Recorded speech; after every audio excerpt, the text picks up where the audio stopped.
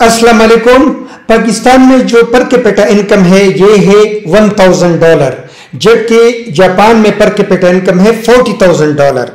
तो इसका क्या ये मतलब हम ले सकते हैं कि जापान के लोगों की जो स्टैंडर्ड ऑफ़ लिविंग है, यानी मैार ज़िंदगी है, वो पाकिस्तान के लोगों के मैार ज़िंदगी के मुकाबले में चालीस गुना बेहतर है?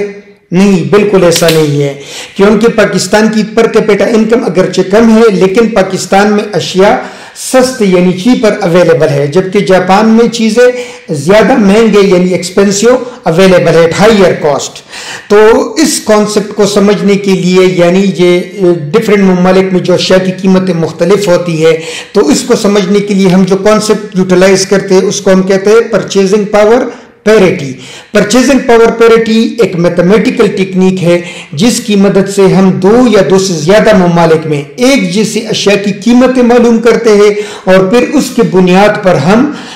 एक्सचेंज रेट और मुख्तलिफ़ अशिया की एक्सपोर्ट प्राइस फिक्स करते हैं। इसके लिए जो फार्मूला इस्तेमाल होता है, वो है S is equal to P one over P two इससे मुराद है फॉरेन एक्सचेंज पी वन से मुराद है प्राइस इन वन कंट्री यानी इन द एक्सपोर्टिंग कंट्री जो अशिया एक्सपोर्ट कर रहा है। और पी टू से मुराद है price in the other country यानी इन द इम्पोर्टिंग कंट्री जो अशिया इम्पोर्ट कर रहा है।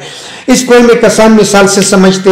हम फ़र्ज़ कर लेते हैं कि एक कमोडिटी है, यानी कमोडिटी एक्स इसकी पाकिस्तान में जो प्राइस है, वो है रुपीज़ टू हंड्रेड जबकि यूएसए में इस कमोडिटी की जो प्राइस है, वो है टू डॉलर तो अब एक्सचेंज रेट क्या होना चाहिए? एक्सचेंज रेट मालूम करने के लिए हमारे पास फार्मूला है S is equal to P one over P two अब हम इसमें वैल्यूज़ पुट करते हैं तो S will be equal to two hundred divided by two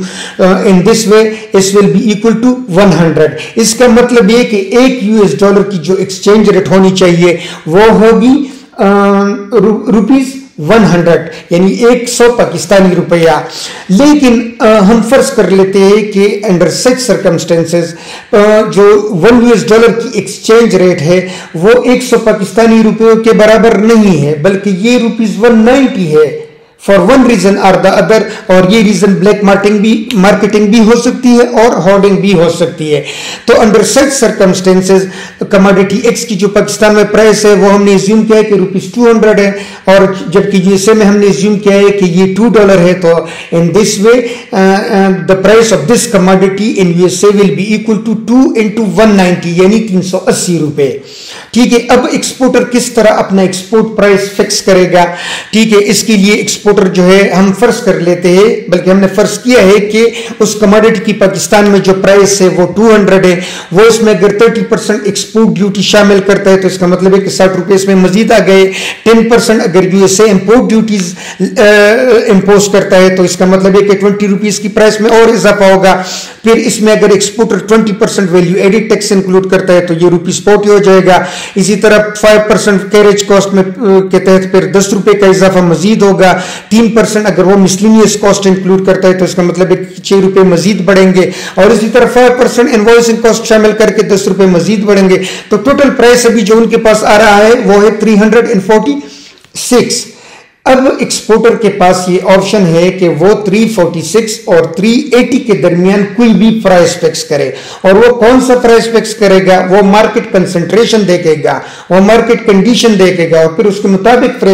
price fix करेगा। क्योंकि अगर फॉर एग्जांपल मार्केट बहुत ज़्यादा कंपिटेटिव हो या ओलिगोपोलिस्टिक हो तो फिर ऐसी सूरत में हमें अपनी चीज़ें एक्सपोर्ट करने के लिए और मार्केट में प्रॉपर स्पेस ऑक्यूपाई करने के लिए ये ज़रूरी होता है कि हम अपने प्रोडक्ट को डिफ्रेंशिएट करे थ्रू प्राइसिंग एंड ब्रांडिंग तो ऐसी सूरत में फिर एक्सपोर्टर को चाहिए कि वो 340 और 380 के दरमियान ऐसी एक प्राइस फिक्स करे कि मैक्सिमम कस्टमर को अट्रैक्ट करे। तो उम्मीद है आप परचेजिंग पावर पेरिटी के कॉन्सेप्ट को समझ गए होंगे। Thank you very much